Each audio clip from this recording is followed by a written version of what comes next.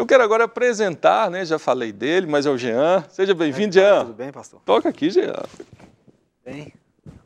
Muito bom, Jean, você aqui e para a gente falar de algo para você simples, mas para quem trabalha na área e está envolvido com a, com a vida cristã, vamos dizer assim, com a igreja, pode se tornar difícil.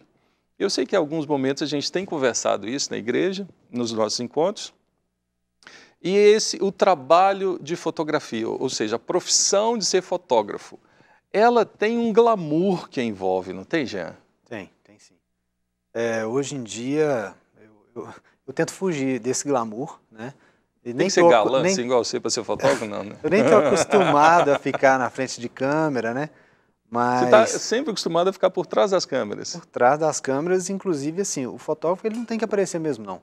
Em evento, em casamento, por exemplo. O fotógrafo que aparece demais está errado, né? É, a gente vai de preto justamente para não aparecer muito. Uhum. Né? Mas não tem esse glamour, não. É, é, várias pessoas estão sempre hoje pensando que fotografar é fácil, é simples. Ah, eu vou comprar uma câmera, eu mesmo vou fazer e eu vou participar desse glamour, né? Tem é, é algumas pessoas que, que, de repente, me procuram hoje, eu quero aprender a fotografar também, é, para tentar ser fotógrafo de moda. Ah, eu vou fotografar modelo, eu vou é, fazer uma capa de revista. E, na verdade, é, o trabalho é árduo, é difícil, tem muita técnica, tem, tem que trabalhar igual, tem que estudar igual médico. Você já me falou isso uma vez e, às vezes, é, algumas pessoas embarcam nessa como marinheiro de primeira viagem, como dizem. Compra uma câmera e faz ali um cursinho via internet mesmo e já se aventura no meio. E você usou um termo até uma vez, prostituindo o mercado de fotografia. E é algo que precisa estar atento, né? O próprio, as pessoas que contratam esse serviço precisam estar atentas a isso. O que é indicado? É procurar um portfólio, pegar referência. Como se pega referência de um fotógrafo? Bom, o que acontece é o seguinte, é, atualmente, é, queria comentar de um, de uma palestra gratuita que nós vamos executar para as noivas, né, debutantes que estiverem entrando em contato conosco. Pelos, Você mesmo está é, organizando? É, é uma palestra que a gente está é, moldando para apresentar para o tipo, para a maioria de clientes hoje, como que ela, o que, que ela deve saber de fotografia para que uh, ela escolha bem um profissional e qual que é a forma como a pessoa fotografável deve se portar na frente da câmera. Então tem várias dicas e tal, bem interessante. Dicas para quem vai ser fotografado. Isso, isso. Entendeu? Então é uma coisa inovadora aí que a gente está fazendo, um projeto e podem já entrar em contato. Né? Você fotografa há muito tempo já, né?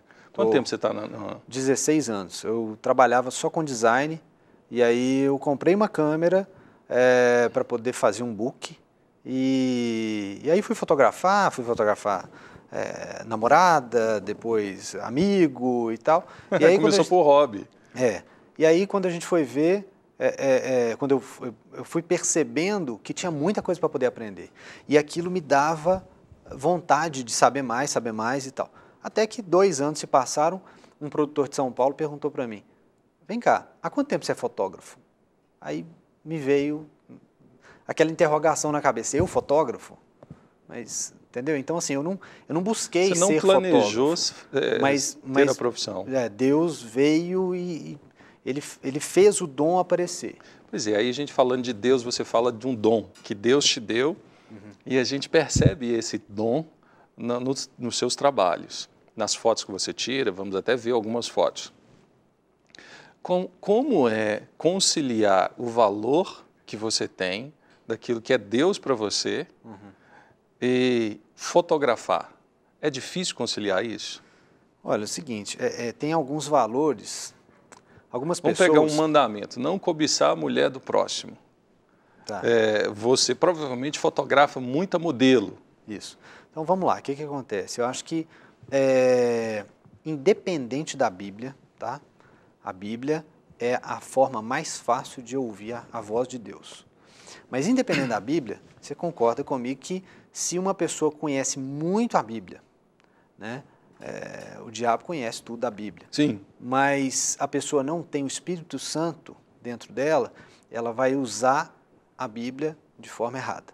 Então, eu acho que mais importante do que é, aprender sobre a palavra de Deus, é, É ter o Espírito. Santo.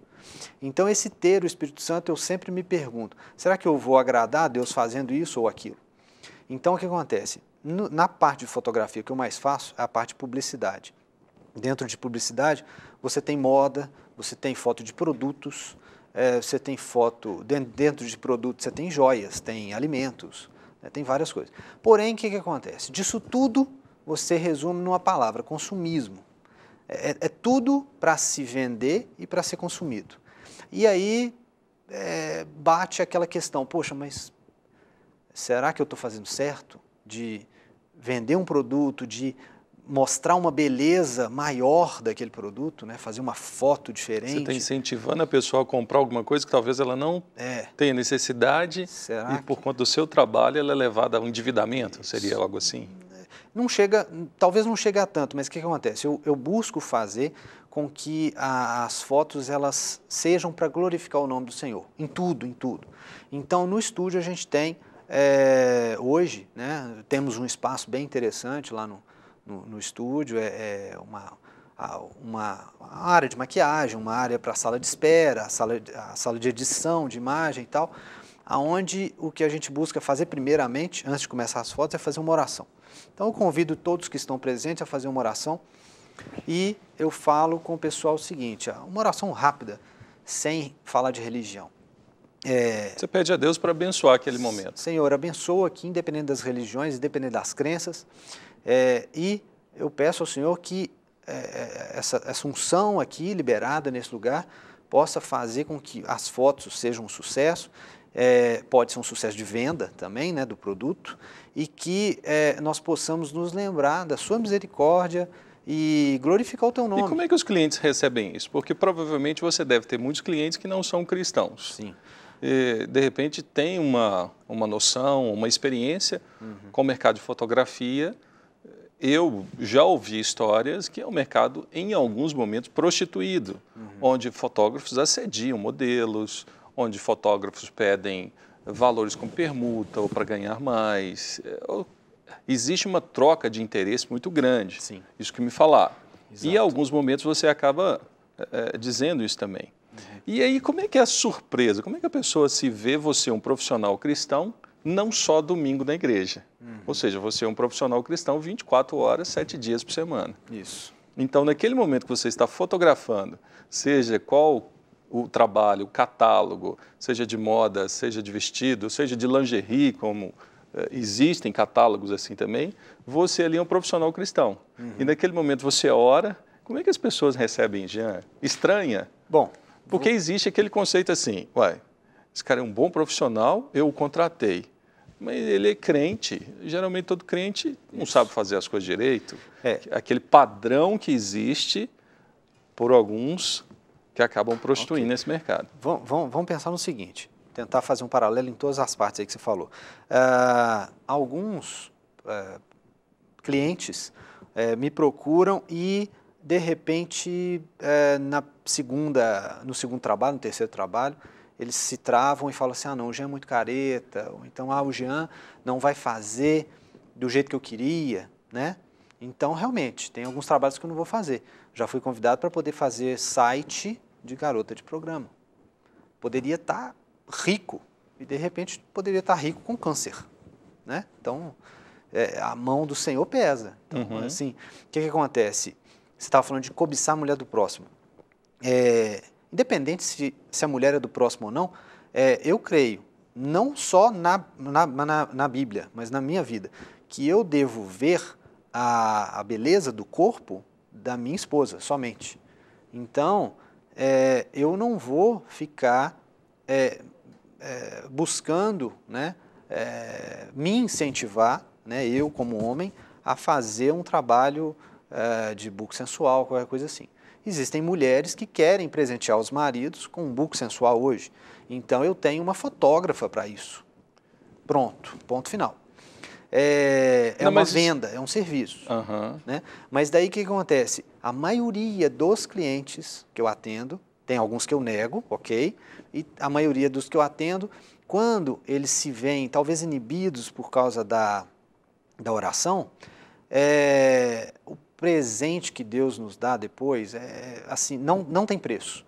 É, já aconteceu. O resultado é um testemunho. É, já aconteceu, por Mas exemplo. Você citou aí algum, um, algumas situações. Duas, duas situações que eu queria te passar. Ah. É, posso posso é, nomear o nome de uma banda aqui? Não. Pode. Seria, então, nós conhecemos, né, de algum tempo atrás aí, o Tia Anastácia, que é uma banda que, de rock que explodiu no Brasil, Sim. mas que é mineira. E aí eles foram fotografar comigo. Eles não são crentes. Aí eu orei e o, um dos integrantes falou assim: Poxa, eu gostei desse estúdio, porque aqui rola uma energia boa. Então, é, essa linguagem dele é um, é, uma, é um testemunho. É, sabe, é uma coisa maravilhosa.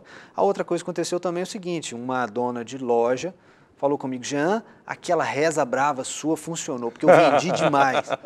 Então, sabe, são vantagens aí de ter orado e ter. Fotógrafo que faz reza brava. É, entendeu? Então é isso.